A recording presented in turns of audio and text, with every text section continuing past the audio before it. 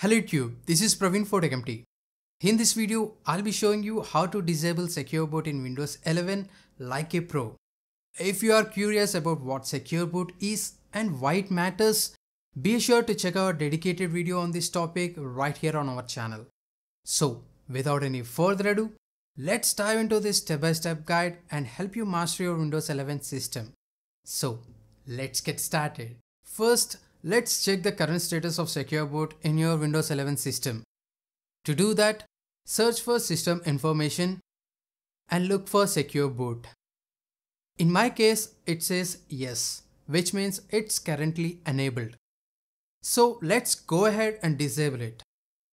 Here are the steps to disable Secure Boot in Windows 11. Click on the Windows icon, then choose Settings.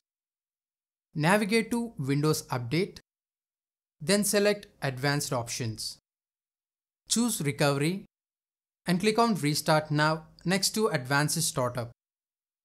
Your system will now restart in recovery mode. In recovery mode, select Troubleshoot, then Advanced Options, and finally tap on UEFI firmware settings to access your PC's UEFI firmware settings. Click Restart to enter BIOS settings. Once you are in the BIOS settings, head over to the boot tab. In my case, I have an Asus motherboard, so I need to choose advanced mode to change boot options.